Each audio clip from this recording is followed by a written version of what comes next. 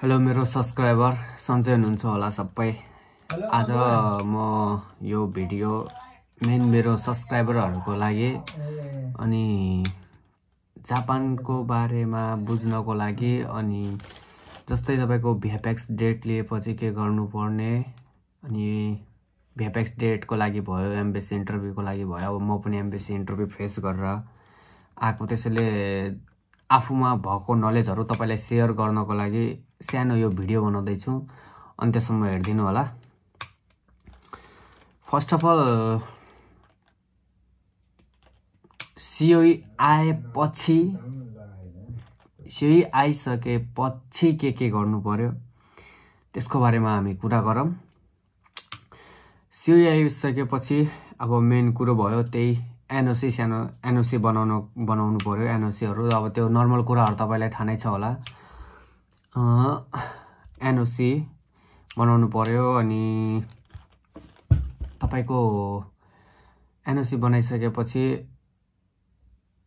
गएकोलाई fee हाल्नु पऱ्यो स्कुललाई फी हाल्नु पऱ्यो स्कुललाई फी सी हालिसकेपछि सबै उत्यो गरिसकेपछि अब अहिले आजभोलि भेपेक्समा डेट पाइरहेको छैन। अब त्यो तपाईँले त्यहाँ जाने अब कहिलेको डेट पर्छ। नत्र त्यहाँ गएर कहिलेको डेट छ भनेर मतलब पासपोर्टको फोटोकपी छोडेर मैले जुन दिन डेट खाली हुन्छ त्यो दिन तपाईँ गरिदिनु होला भनेर तपाईँ त्यहाँ सोध्नु पनि सक्नुहुन्छ। त्यही भ्याप्याक्स बिल्डिङको ठ्याक्कै त्यो मेन गेटको बाहिर जुन मेन गेट हुन्छ जहाँनिर सेक्युरिटी उभिएको हुन्छ त्यसको त्यहाँनिरै भ्याप्याक्स डेट लिइदिन्छ। है तपाईँले अब भिएफएक्स डेट पाउनुभयो भने अनि कहिलेको पाउनुभयो? अब तपाईँ जहिलेको भिएफएक्स डेट पाउनुहुन्छ त्यो दिन अब त्यही एक दुई बजेतिर तपाईँलाई भित्र छिर्न दिन्छ जापानको भित्र छिर्न दिन्छ अनि तपाईँ त्यहाँ एक दुई बजेतिर भित्र छिरेर आफ्नो डकुमेन्ट सकुमेन्ट बुझाउनु होला। डकुमेन्ट बुझाइसकेको मेन जस्तै तपाईँले आज डकुमेन्ट बुझाउनु भयो म धेरैको जसो धेरै जसो।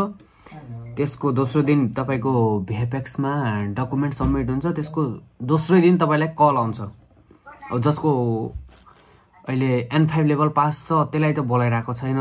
जहाँसम्म छ मैले बुझेको अनुसार एन फाइभ लेभल पास हुनेलाई बोलाइरहेको छैन। जसको एन फाइभ लेभल पास छैन कसैलाई बोलाइरहेको छ कसैलाई बोलाइरहेको छैन। अब जसलाई बोलायो त्यसको डकुमेन्ट तपाईँले आज सब्मिट गर्नु हो भोलि कल आउन सक्छ। तिन दिनको मात्र हुन्छ तपाईँले भ्यापेक्समा पनि भन्छ। तिन दिनको हुन्छ त्यो तिन दिनभित्र कल आएन भने तपाईँको डाइरेक्ट भिजा हुन्छ। त्यो तिन दिनको तपाईँको मेन आउने भनेको आज डकुमेन्ट सब्मिट गर्नुभयो भोलि नै तपाईँको कल आउँछ। भोलि नै कल आउँछ। भोलि नै कल आइसकेपछि तपाईँको त्यही हो सबैलाई दुई बजे बोलाउँछ। जस्तै जस जसलाई बोलाउनु छ त्यो सबैलाई दुई बजे बोलाउँछ तपाईँ। इन्टरभ्यूको लागि भोलि दुई जस्तै शुक्रबार छ भने तपाईँलाई सोमबार बोलाउँछ दुई बजे जस्तै बिहिबार छ भने त्यही शुक्रबार दुई बजे बोलाउँछ कि बोलाउँछ शुक्रबार दुई बजे बोलाउँछ। अब त्यही जुन दिन कल आयो त्यसको ठ्याक्क दोस्रो दिन दुई बजे इन्टरभ्यूको लागि आउनु होला भने एउटा कल आउँछ। तपाईँ भ्याक्समा डेट्स बुक डकुमेन्ट सब्मिट गरिसकेपछि मोबाइल स्विच स्विच अफ गर्ने अनि साइलेन्टमा राख्ने त्यो नगरिदिनु होला। त्यसमा पनि हल्का इफेक्ट पर्छ अब। त्यहाँ अनि तपाईँलाई त्यहाँ बोलाइसकेपछि दोस्रो दिन अब जस्तै यो कानमा टपहरू भयो है? टपहरू छ भने खुलाउनु होला अनि फर्मल ड्रेस लगाउनु होला। अब जहाँसम्म छ फर्मल ड्रेसमा पनि जज गर्छ अब जस्तै अब कोही जान्छन् अब त्यस्तै ए च्यात्तेको प्यान्टहरू लगाएर भयो यताउता त्यो लगाएर चाहिँ त्यस्तो लगाएर नजानु। अब तपाईँको त्यहाँबाट पनि हल्का इफेक्ट पर्न सक्छ।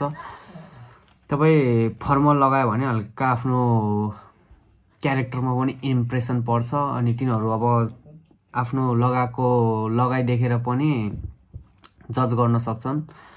अनि त्यहाँ तपाईँको दुई बजेभित्र गइसक्नु भयो भने तपाईँलाई अहिलेसम्म मेरो साथीहरू धेरै दुई चारजना गइसके त्यो अस्तितिर भ्यापेक्समा त्यो के अरे एम्बेसीमा इन्टरभ्यूको लागि जानुभयो।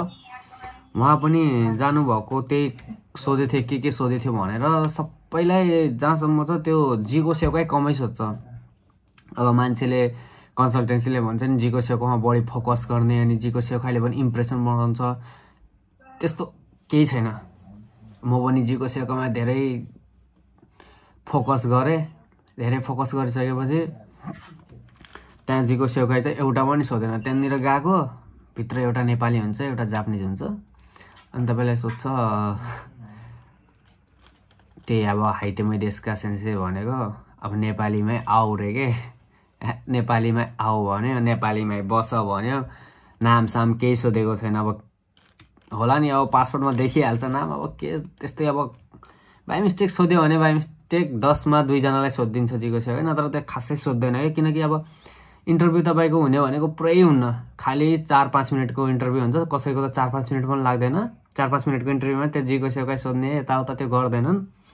हामी इन्टरभ्यू दिने चारजना थिए। चारजनालाई पनि फटाफट इन्टरभ्यू लिएर पठाइदिएको हो। तपाईँको इन्टरभ्यूमा सिधै गएपछि लेबिलेसन लगाएर एउटा कात्ताकानाको एउटा हिराकानाको एउटा कात्ताकाना हिराकाना खान्जी भएको पेपरहरू तिनीहरूले जस्तै दुईवटा कपी बनाएको हुन्छ। दुईवटा कपी नै लेबिलेसन गरेर राखेको छ। अब सोध्ने त सबैलाई त्यही होला। त्यसैले त लेबिलेसन गरेर एकदम सेभ गरेर राखेको थियो। तपाईँलाई यसरी पेपर दिन्छ। तपाईँले जुन पेपर दिएछ त्यो पेपर आफू पनि समात्छन् तिनीहरू। अनि उताबाट जापानिजले भन्छ एक तिन नम्बर पढ्न लगा भनेर नेपालीलाई भन्छ। नेपालीले तपाईँलाई जापानिज भन्ने होइन यो जापानिजमा भन्ने होइन पढ भनेर। तपाईँलाई नेपालीले नेपालीमा भन्छ यो जस्तै वान ट्वेन्टी नाइन नम्बर पढ भनेर भन्छ। तपाईँले त्यो वान ट्वेन्टी नाइन नम्बरको पढ्यो होइन यत्रो यत्रो सेन्टेन्स हुन्छ। जस्तै यो कपी भयो। यहाँदेखि यति यति लामो सेन्टेन्स हुन्छ। तपाईँले त्यो सेन्टेन्स पढिदिने हो। जस्तै पहिला हिरा गानाको सेन्टेन्स दिन्छ। तपाईँले सर पढ्नुभयो। सर पढ्नुभयो भने चाहिँ दोस्रो सेन्टेन्स सोध्दैन। तपाईँ अलि बिचबिचमा अड्किनु भयो भने अनि हिरागानाको अर्को सेन्टेन्स सोध्छ। कात्ताको पनि कात्ताकानाको पनि सेम प्रोसेस तपाईँले फर्स्टमा एउटा पढ्नु भएको छ राम्रै पढ्नु भएको छ भने चाहिँ सोध्दैन। तपाईँ हल्का अड्किनु भयो पढ्दा पढ्दा बिचमा अड्किनु भयो भने चाहिँ अर्को क्वेसन नि त्यहाँ पढ भन्छ कि अर्को sentence sentence sentence sentence sentence छुट्टाएको हुन्छ। त्यो पढ भन्छ। अनि तपाईँले त्यो पढ्नु भयो भने पेपर देऊ भन्छ तपाईँले त्यो पेपर दिने। अनि त्यसले लास्टमा दिन्छ हिरागाना कात्ताकाना खान्जी। मिक्सिङ भएको पेपर दिन्छ। तपाईँले हिरागाना र कात्ताकाना सर पढेर लग्नुभयो पढेर लग्नुभयो तर लास्ट पेपरमा चाहिँ हल्का खान्जीमा अड्किनु भयो भने पनि त्यति फरक पार्दैन भिजामा त्यति फरक पार्दैन त्यसले। तपाईँले हिरागानामा पनि अड्किनु भयो कात्ताकानामा पनि पढ्न पढ्न सक्नु भएन त्योमा पनि तपाईँ अड्किनु भयो भन्यो भने चाहिँ थोरै अब प्रब्लम त हुन्छ। अब तपाईँ हिरागाना कात्ताकाना नै अड्किराख्नु भएको छ भने त खान्जी त हल्का तपाईँलाई गाह्रै हुन्छ पढ्नको लागि। तपाईँले हिरागाना र कात्ताकाना सर्र सर्र पढिदिनु भयो भने पनि धेरै सेभेन्टी एट्टी पर्सेन्ट चान्स हुन्छ कि भिजा आउने। त्यो दुइटा हिरागाना र कात्ताकानामा पनि अनि तपाईँले जस्तै अब हिरागाना कात्ताकाना खान्जी भएको पेपर दिएको छ भने तपाईँलाई खान्जी पढ्नु भएछ ल ठिक छ पढ्नु भएछ भने चाहिँ बेस्ट एकदम बेस्ट मस्त पढिदिनु। तपाईँलाई खान्जीहरू आउँदैन। कुनै कुनै खान्जी जस्तै सेन्टेन्समा कुनै कुनै खान्जी तपाईँलाई आएको छैन। आएको सेन्टेन्स खान्जी पढिदिनु। जुन तपाईँलाई खान्जी आएको छैन त्यसलाई के गर्नु भनेपछि जुन अगाडि हिरागाना कात्तागानामा जुन पनि सेन्टेन्सको अगाडि खान्जी त बिच बिचमा आउने हो त्यो पढ्नु। खान्जी आउँदैन त्यसलाई छोडिदिनु। यताको हिरागाना कात्तागाना पढ्नु। आउँछ भने भनिदिनु आउँदैन भने छोडेर हिँडिदिनु। अगाडि बढिदिनु। त्यहीमा पनि तपाईँको चान्सेस हुन्छ भिजा लाग्ने। त्यो जिको सेकोमा हल्का कम फोकस गरेर पढ्नुमा चाहिँ हल्का धेरै फोकस गर्नु है। अब त्यहाँबाट तपाईँको मेरो सब्सक्राइबरको पनि धेरै कमेन्टहरू आएको थियो। मलाई मेसेन्जरमा पनि सोधिराख्नु भएको थियो जस्तै तपाईँको भिजा लाग्यो भिजा लाग्यो लागेन भनेपछि कति दिनपछि खबर आउँछ भनेर। अब भिजा लाग्यो भने तपाईँको भिजा लागिसकेछ भने चाहिँ इन्टरभ्यू दिएको सात या छ दिनभित्रै सात दिनभित्रै तपाईँको कल आउँछ। मतलब कल भन्दा नि मेसेज आउँछ भिएफएसबाट तपाईँको डकुमेन्ट आइसक्यो सम् त्यो कलेक्ट गर्नु भनेर आउँछ। त्यो मेसेज आउँछ मेलमा पनि आउँछ तपाईँको अनि मेसेजमा पनि आउँछ। दुइटैमा आउँछ तपाईँको। अनि तपाईँको भिजा लागे छैन भने चाहिँ अब त्यही चालिस पैँतालिस दिन त भन्दिनँ म होइन। भिजा लागेन भने तपाईँको चार पाँच दिन लेट आउँछ। अब जस्तै तपाईँको एक हप्ता भइसक्यो तर आएको छैन भने चाहिँ अब थोरै डाउट आफ्नो मनमा जगाइहाल्नु कि भिजा लागेको छैन मेरो भनेर। मेरो साथीको हामी कन्सल्टेन्सीमा सातजना थियौँ।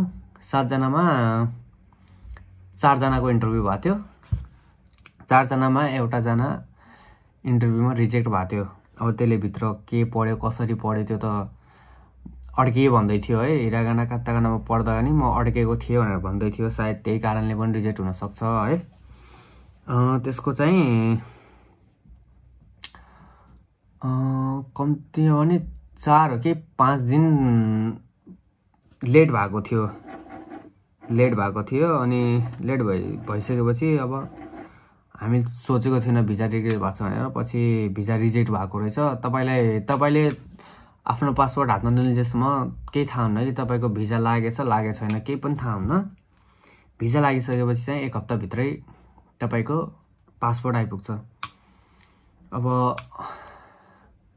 यो मेरो सब्सक्राइबरहरूले सोधेको हुनाले मैले यो भिडियो बनाएँ बस मलाई सपोर्ट गरिदिनु होला। अनि तपाईँलाई थप जानकारीमा यहाँ आउँदाखेरि के के लिएर आउने के लिएर नआउने के लिएर आउने अनि कति ल्याउने के के ल्याउँदा ब्याग अनवान्टेड चिजले फुल गर्नुभन्दा के चाहिने चिजहरू ल्याएर फुल गर्दा राम्रो हुन्छ त्यो त्यसकोमा भिडियो चाहनुहुन्छ भने मलाई कमेन्ट गर्नु होला अनि यो भिडियोलाई यस्तो लाइक हानेर यस्तो लाइक हानेर नि चट्ट हल्का हाई लेभलमा पुऱ्याइदिनु होला है। मेरो आउने साथीहरू पनि अनि जापानको बारेमा केही बुझ्ने साथीहरूलाई पनि सेयर गरिदिनु होला यो भिडियो। बस अरू केही तपाईँलाई जान्ने इच्छुक हुनुहुन्छ भने मलाई कमेन्टमा कमेन्ट गर्नु होला नत्र मलाई त्यहाँ लिङ्क छोडिदिएको छ फेसबुकमा मेसेज नै गर्न सक्नुहुन्छ। म सबैको मेसेज रिप्लाई गर्ने कोसिस गरेर हुन्छु ल सबैको मेसेज मैले रिप्लाई गरिरहेको नै हुन्छु। त्यो गर्नु होला हस् त अहिलेको लागि भिडियो यहीँ बन्द गरौँ। आगामी दिनहरूमा पनि तपाईँलाई केही डाउटहरू आयो केही सोध्नु छ भने सोध्न सक्नुहुन्छ। मलाई जुन म मैले जानेको हुन्छु जुन बुझेको हुन्छु म तपाईँलाई सेयर गरिदिन्छु। बस लाइक सेयर अनि मेरो च्यानललाई सब्सक्राइब गरेर सपोर्ट गरिदिनु होला। Thank you